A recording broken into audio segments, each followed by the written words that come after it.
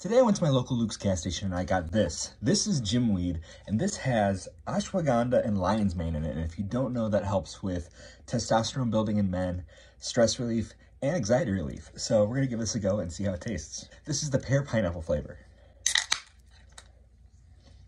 Definitely a good aroma of pear and pineapple. Let's give it a taste.